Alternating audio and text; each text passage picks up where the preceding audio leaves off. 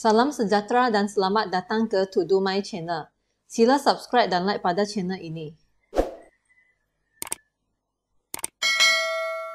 Hari ini kita akan bincang latihan buku teks matematik KSSM tingkatan 4 iaitu latihan praktis kendiri 4.1a pada muka surat 99 hingga 100. Okey, mari kita mula. Sebelum kita lihat soalan satu, mari kita lihat balik nota tentang persilangan set. Persilangan set wujud apabila terdapat lebih daripada satu set. Persilangan set P dan set Q ditulis dengan menggunakan simbol ini. Persilangan antara set P dan Q ialah set yang mengandungi unsur-unsur sepunya bagi kedua-dua set P dengan set Q. Perhatikan perkataan ini, unsur-unsur sepunya. Maksudnya unsur yang dipunyai bersama. Soalan satu, diberi set semesta ialah dengan keadaan X, X ialah integer, dari 1 sehingga 10. Set M adalah set dengan unsurnya X dan X ialah nombor ganjil dan set N dengan unsurnya X di mana X ialah gandaan 3. Senaraikan semua unsur bagi set yang berikut. Jadi pertama sekali kita senaraikan unsur untuk set semesta dahulu iaitu dari 1 sehingga 10. Soalan A minta kita senaraikan set M. Maka set M tadi ialah nombor ganjil. Jadi kita kena rujuk balik set semesta ini dan lihat mana satu adalah nombor ganjil di sini. So didapati 1, 3, 5, 7 dan 9 ini adalah set nombor ganjil. So jawapan dia adalah ini. Soalan kedua, B. Set N. Set N ialah gandaan 3. Jadi, kita lihat balik set semesta yang kita senaraikan. Mana satu ialah gandaan 3 iaitu 3, 6 dengan 9. Inilah jawapannya. Soalan C. Persilangan antara M dengan N. Ingat tak tadi? Persilangan antara dua set adalah unsur-unsur sepunya. Jadi kita bandingkan set M dengan set N, cari nombor yang muncul dalam kedua-dua set tersebut. So dari sini kita nampak nombor 3 ada dalam kedua-dua set termasuk juga nombor 9. Jadi jawapannya adalah 3 dan 9 sahaja. Soalan 2. Gambar raja Venn menunjukkan set J, set K dan set L dengan keadaan set semesta ialah 1, 2, 3, 4, 5, 6, 7 hingga 9. Senaraikan semua unsur bagi persilangan set yang berikut. Soalan A. Persilangan antara set J dengan K. Jadi, di sini kita nampak bahawa dia nak persilangan antara set J dengan K sahaja. Jadi pertama kita lorekkan bulatan yang mewakili set J. Kemudian kita lorekkan segi empat sama yang mewakili set K dengan garisan arah yang berlainan. Kemudian kita perhatikan lorekkan yang kita hasilkan, kawasan mana yang mengandungi dua jenis garisan. Didapati kawasan itu adalah kawasan segi empat K ini sahaja. Maka kita senaraikan semua nombor yang kita nampak di dalam situ sebagai jawapan iaitu 4, 6, 9. Soalan 2. Persilangan antara set J dengan L. Dengan cara yang sama, kita lorekkan bulatan J dahulu. Kemudian kita lorekkan segi empat tepat yang mewakili L dengan garisan yang berlainan. Perhatikan lorekkan tersebut kawasan mana yang mengandungi dua jenis garisan. Jadi di sini kita nampak bahawa kawasan ini mengandungi dua jenis garisan. So jawapan dia adalah 3, 9. Soalan C. Persilangan antara set K dengan L. Sekarang ni kita lorekkan segi empat sama yang mewakili set K dahulu. Kemudian segi empat tepat yang mewakili set L dengan garisan yang berlainan arah. Jadi kawasan yang mengandungi dua jenis garisan adalah kawasan di tengah-tengah ini sahaja, iaitu 9. Soalan D. Persilangan antara set J, K dan L. Jadi kita lorekkan set J dahulu, iaitu bulatan J. Kemudian segi empat sama K. Akhir sekali segi empat L. Kali ini kita nak cari kawasan yang mengandungi tiga jenis garisan. Oleh itu, dari sini jawapannya adalah di kawasan ini sahaja yang mengandungi tiga jenis garisan. Oleh sebab itu, jawapannya adalah 9. Soalan 3. Diberi set semesta adalah X di mana X ialah integer dan X adalah dari 1 sehingga 20. Set P dengan unsur X dan X ialah nombor perdana. Set Q dengan unsur X di mana X ialah gandaan 5 dan set R dengan unsur X dan X ialah faktor bagi 10. Soalan A, lukis gambar raja van mewakilkan semua set yang diberikan. Jadi kita senaraikan dulu unsur-unsur bagi setiap set. Pertama sekali, set semesta dari 1 sehingga 20. Set P ialah nombor perdana. Jadi kita lihat dalam set semesta yang kita senaraikan, cari nombor perdana yang ada dalam situ. Jadi, jawapannya adalah 2, 3, 5, 7, 11, 13, 17 dan 19. Kemudian set Q ialah gandaan 5.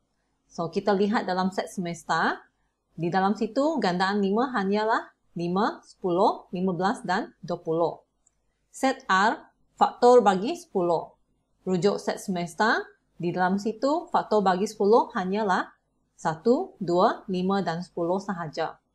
Perhatikan set PQR yang kita senaraikan. Pertama sekali, kita tengok ada tak nombor yang sama dalam ketiga-tiga set.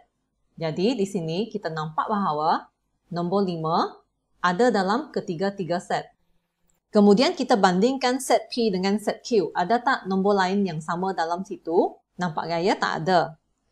Lepas tu kita lihat antara set P dengan set R. Apakah unsur lain yang ada dalam kedua-dua set P dengan R? So di sini kita nampak nombor 2. Seterusnya, kita lihat set Q dengan R. Apakah unsur yang terdapat dalam kedua-dua set Q dengan R? Iaitu 10. Jadi kita rumuskan di sini, terdapat persilangan antara tiga-tiga set PQR. Terdapat persilangan antara P dengan R, terdapat persilangan antara Q dengan R. Sebenarnya kita boleh cuba lukiskan gambar raja yang dalam bentuk bulatan seperti ini, di mana PQR ini bermaksud kawasan yang persilangan ketiga-tiga ini terdapat unsur di dalam sini, iaitu nombor 5 tadi. Kemudian terdapat juga persilangan antara set P dengan R, iaitu kawasan ini, termasuk kawasan yang hijau tadi. Dan akhir sekali, ada juga persilangan antara set dengan Q dan R, iaitu kawasan ini. Perhatikan di sini, tiada unsur berada di dalam kawasan ini. Oleh itu, kita pemudahkan gambar raja itu dengan segi empat seperti ini. Sekarang ni, cuba kita isikan unsur-unsur ke dalam gambar raja yang telah disediakan. Pertama sekali, kita isikan persilangan antara set, tiga-tiga set ini. Maksudnya kawasan ini, iaitu kita isi dengan nombor 5. Sebab kawasan ini melibatkan segi 4Q, segi 4R dan juga segi 4P. Untuk isi kawasan yang ini pula, perhatikan itu adalah persilangan antara segi 4P dengan segi 4R. Jadi kita ambil jawapan dari persilangan PR yang ini, yang warna merah ini. Maksudnya kita masukkan nombor 2. Ingat, tambahkan titik di depan ah, sebab itu bermaksud unsur. Kemudian untuk kawasan ini, Perhatikan kawasan ini adalah persilangan antara segi 4R dengan segi 4Q. Jadi, kita kena isi nombor yang dibulatkan dengan warna kuning ini, iaitu nombor 10. Okey, selepas itu kita isi kawasan ini pula. Kawasan ini adalah kawasan yang mengandungi unsur dalam set P yang belum disenaraikan. Jadi perhatikan segi 4P ini, unsur 2 dengan 5 sudah diisi banding dengan yang disenaraikan kat sini. Jadi kita senaraikan yang belum di-highlightkan di sini iaitu 3, 7, 11, 13, 17 dan 19. Untuk kawasan ini, ia adalah tergolong dalam segi 4Q. Jadi kita rujuk set Q di sini. Nombor 5 dengan 10 sudah ditulis. Jadi kita senaraikan dua lagi yang belum di-highlightkan ini. Maksudnya kita senaraikan 15 dengan 20.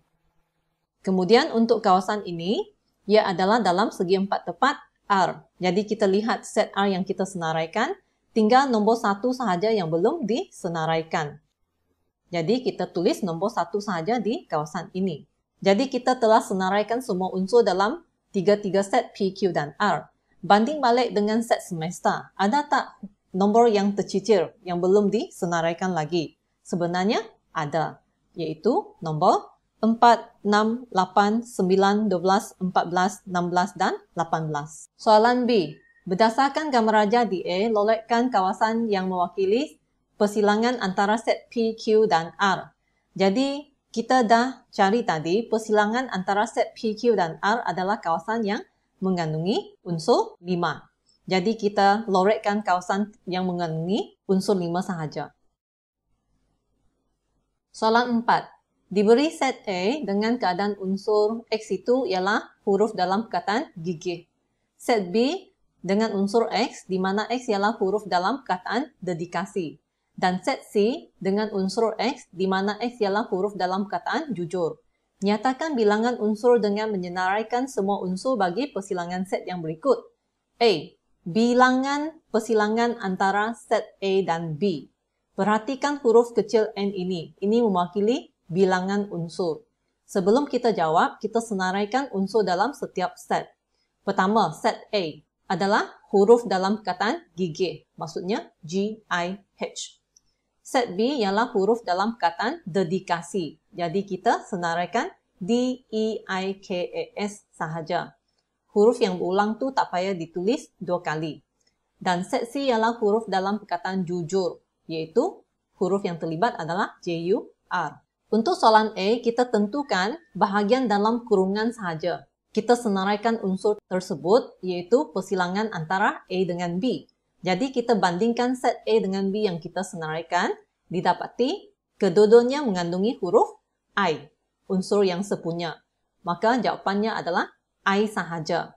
Soalan minta bilangan unsur dalam persilangan antara set A dengan B. So jawapannya adalah 1. Soalan B. Bilangan unsur dalam persilangan set A dengan set C. Didapati bahawa tidak ada unsur sepunya di dalam set A dengan set C.